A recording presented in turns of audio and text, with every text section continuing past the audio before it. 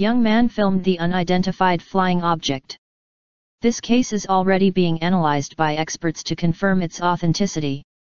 In the video recorded shows very clearly a flying saucer in the skies of Curitiba. Someone please explain to me what this is? The object is big and the size of a bus, see that in just one maneuver it disappears as if it were perceived that it was being seen. Actually they are among us and they observe us constantly. Draw your own conclusions.